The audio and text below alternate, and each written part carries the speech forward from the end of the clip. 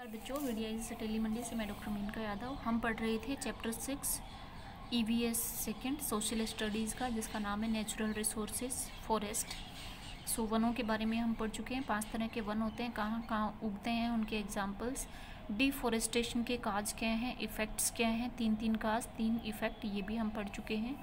अब आगे higher order thinking skills के बारे में पढ़ते हैं। नव that we have understood the harmful effects of deforestation. हमने अभी तक पढ़ा, समझ चुके हैं। हार्मफुल मतलब हानिकारक प्रभाव डिफॉरेस्टेशन के। Let us see how we can stop it आइए देखते हैं हम इसको कैसे रोक सकते हैं। There are two ways to do this इसके दो प्रकार हैं इसको करने के। रिफॉरेस्टेशन पहला है रिफॉरेस्टेशन मतलब दोबारा पौधे लगाना, पेड़ लगाना। Reforestation means to plant trees again in an area where there was forest earlier यानी जहाँ पर पहले जंगल था, वहाँ पे दोबारा पौधे लगाना। It can also refer to planting trees in a place where the number of trees are decreasing decrease मतलब कम होना। प्लेस मतलब जगह वेयर मतलब जहाँ। इसको ऐसे भी देख सकते हैं कि जहाँ पर पेड़ों की संख्या कम हो रही है, वहाँ पर और पेड़ लगाना। प्लांटिंग मतलब पेड़ लगाना। There are areas where trees have been cut down ऐसे बहुत से क्षेत्र हैं जहाँ पर पेड़ों को काट दिया गया है and the land is not use और पृथ्वी को यूज़ भी नहीं किया जाता है।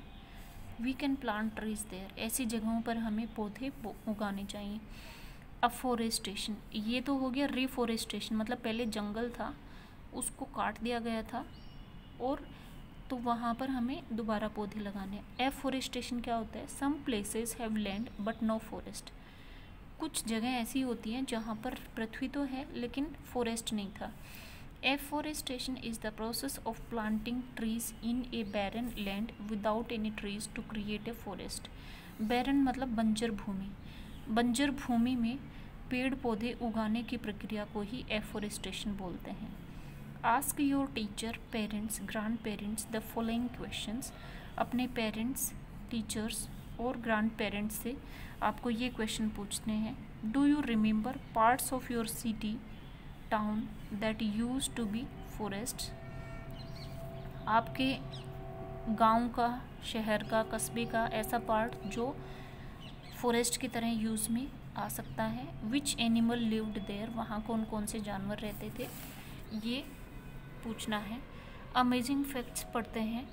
Some trees can live for thousand of years and grow to become more than hundred metres tall कुछ ऐसे पेड़ हैं जो हज़ारों साल तक जीवित रहते हैं और इतने लंबे हंड्रेड्स ऑफ़ मीटर की ऊंचाई तक बढ़ते हैं।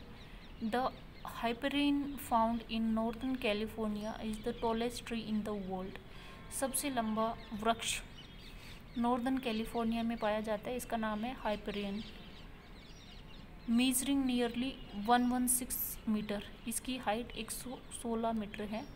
It is as tall as a 30 storey building इसकी ऊंचाई लगभग इतनी है जितनी कि 30 माला बिल्डिंग और ये न्यू वर्ड्स जो इसमें आए थे उनका मीनिंग गिवन है, जो मैं पहले ही आपको लिखवा चुकी हूँ हिंदी में। ये इंग्लिश में मीनिंग है, ये आप कर लेना। यूनेस्को की फुल फॉर्म होती है United Nations Educational Scientific and Cultural Organisation तो ये एक ऑर्गेनाइजेशन है, जो एजुकेशन साइंटिफिक और कल्चर को रिप्रेजेंट करती है। इसकी ऑर्गेनाइजेशन है। स्पाइस क्या होती है? स्पाइस वो होती है, मसाले होते हैं, जो डिफरेंट फ्लेवर फ़ूड में लाने के लिए ऐड करते हैं। Prevent stop something from happening. कुछ चीज़ को घटित होने से रोकना। Foothills, the smaller hill found near the mountain. ऊँचे पर्वत के नीचे पाई जाने वाली छोटी पहाड़ियाँ उनको फुट हिल्स बोलते हैं। पेनिट्रेट मतलब घुसना। Go into something with force and effort force और अफर्ट के साथ किसी चीज़ में घुसना। जैसे आप वृक्ष पर कुल्हाड़ी मारते हैं तो कुल्हाड़ी पेनिट्रेट हो जाती है वृक्ष में। रॉ मटेरियल कच्चा माल soak Dumna make something wet with water उसको सोक बोलते हैं। रॉ मटेरियल मतलब the resources use to make something तो ये मीनिंग आपको इंग्लिश में भी याद करने हैं। इनको याद कर लेना। ये आपका चैप्टर कंप्लीट हो गया है। इसको दो बार पढ़ लेना। Thank you